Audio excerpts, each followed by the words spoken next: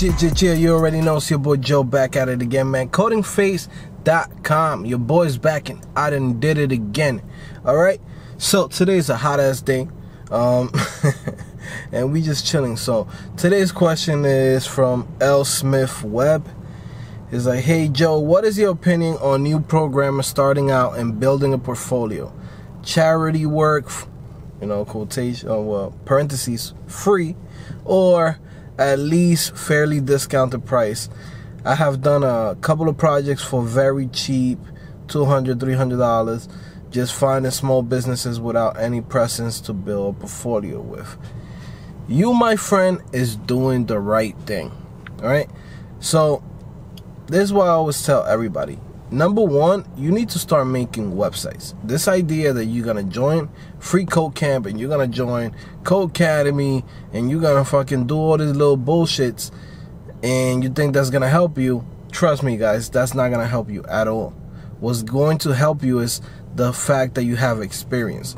One, experience of building any type of site that anybody can throw at you. So you gotta be able to be comfortable with HTML and CSS. So if I say, hey, here's a design that I got from the designer and I want you to build it for me. Can you do that? That's number one.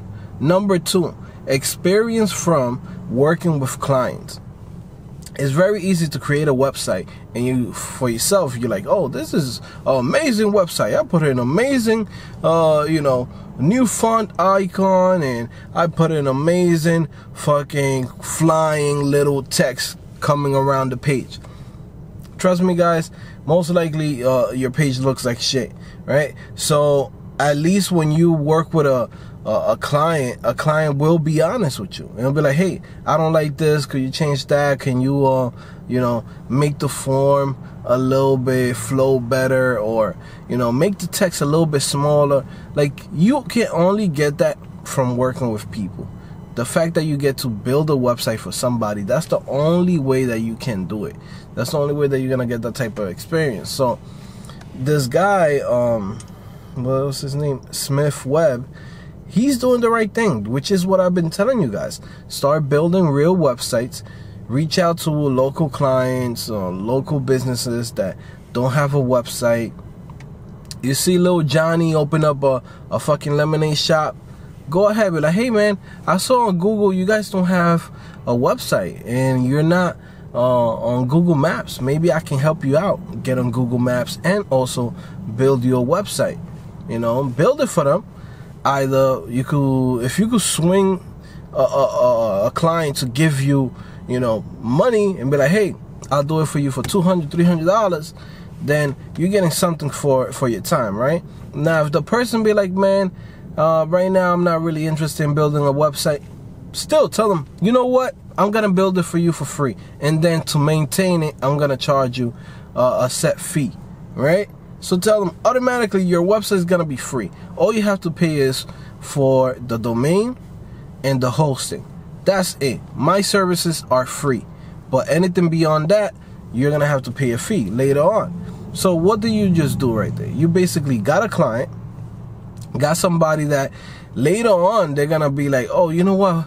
Um, I need to change my menu. I need to change my phone number. Now that's when you charge it. You be like, oh, fifty dollars it's one thing that's gonna change, take you two seconds to do, but hey, it doesn't matter. It doesn't matter if it takes you two seconds or one hour. Your fee for an hour is fifty dollars, right?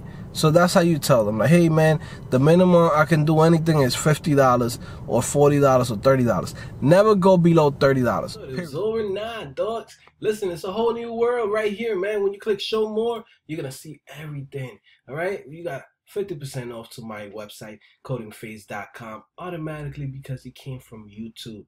That's the coupon code, kids. All right. And then from there, you got uh, my sponsor links, of course. But it's crazy because I'm sponsored by them now, udemy.com.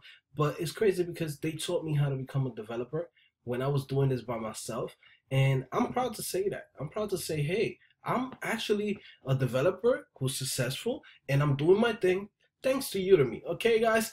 Check those links out. Best instructors in the world. They're right there. Trust me, guys. Believe in me. All right. And then from there, you got the Discord, which is basically a chat room. It's a, a way to communicate with each other. Like You know, all my friends are in there. You got your boy Matt. You got your girl Barbara. You got a couple of people in there. You know, we got Cam. We got the whole squad is in there, guys. Listen, check it out, man. Put in some time. Just click on that link, show more, and you will see all the most valuable links. All right, guys. Fun don't stop here, man. The fun don't stop just on this video. There's a whole community to this. CodingPhase.com. I'll see you guys later. Bye.